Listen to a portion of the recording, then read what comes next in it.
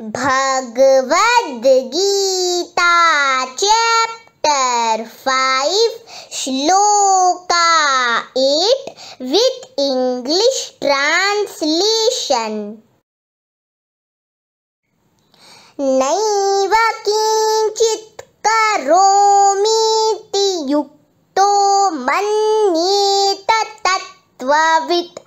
पश्यै शृण्वन् स्पृशै जिघ्रन् नश्नन् गच्छन् स्वपै श्वसन् A person in the divine consciousness, although engaged in seeing, hearing, touching, smelling, eating, moving about, sleeping, and breathing, always knows within himself that he actually does nothing at all.